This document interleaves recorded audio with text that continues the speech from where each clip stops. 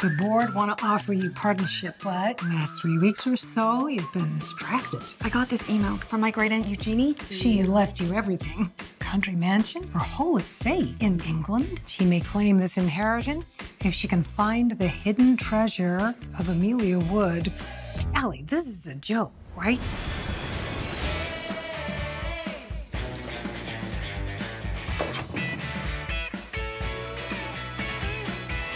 Should I call the police or.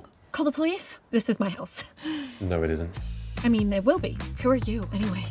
Alyssa! After all these years! You don't use Alyssa anymore? It's Allie now. But it's such a pretty name. It sounds like a fairy name. Exactly. Not really fit for the real world. This is Allie. She's my old friend. She's on a quest to find Amelia Wood's hidden treasure. Hannah says you're some kind of local history expert. Sorry, can't help. This is like exactly what you researched. Fine. Fine. We have so many paintings to find. Should we go for lunch? Fish and chips. Oh my god. Wow. Jennifer Hargreaves. She's got to be the key to all of this. Key to what, though? What do you reckon? Front door or side window? If I don't solve the mystery, then I forfeit my inheritance. What would you do with it? Because it's important to us, to our community.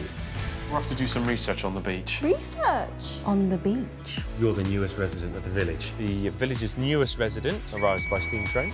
Why didn't you just ask? Couldn't risk a no.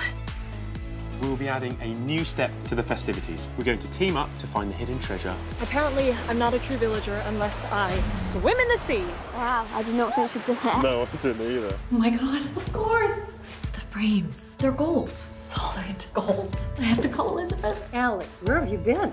That figures. Time to head back to the snake's nest. Never mind the, the gaping hole you'll be leaving in this community. Dad says you're selling the hall and moving back to America. Moving back to LA. Are you kidding? So, what are you going to do here? I actually can't remember how we managed without you. Before me, you had my great aunt. I could never live up to her standards, but together, maybe we could fill the gap.